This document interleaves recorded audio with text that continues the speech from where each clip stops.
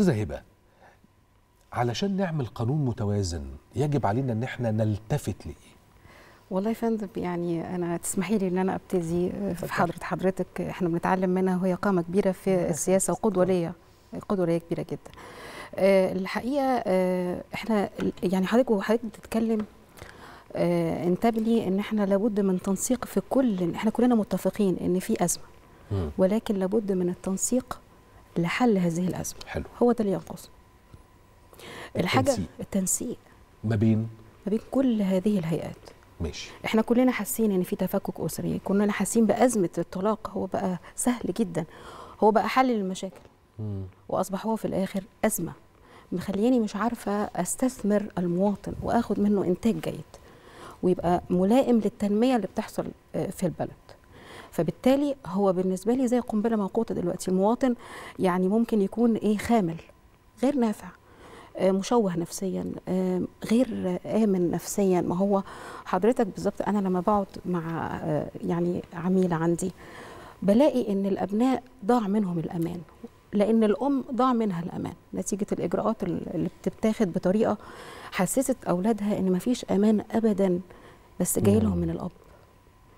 فتخيل حضرتك بتربي آه، مواطن هو مش مآمن لباباه أصلا اللي هو نواة المجتمع يبقى عندي مواطن. كلمة مواطن يعني انتماء ونماء. مم. فأنا إزاي هستثمر ده وهو جوه البيت مش حاسس بأمان؟ فإحنا لازم بالبداية يبقى في ثقافة. أنا مش بتجوز وبخلف وخلاص. مش فراخ. مش فراخ. يعني أنا حزني إن إن الأولاد بيخشوا جوه الخلاف. ممكن أكون أنا ودي وأنت مأساة في حد ذاتها. ممكن أكون أنا وأنت خلاص مش قادرين نعيش مع بعض. لكن أدمر النتاج بتاعي أخلي فيه آفات يبقى لا نافع جوه ولا بره. يبقى إحنا محتاجين ثقافة الاختلاف محتاجين ثقافة الزواج محتاجين ثقافة ال- ال- العدل. كل الحاجات دي تسود. أساسها إيه؟ التربية. اللي منوطة بحاجتين. تربيه في التعليم داخل المدارس المصرية والحاجة الثانية ثقافة الأم ال- والأب في إنتاج أسرة. هو أنا بخلف على طول.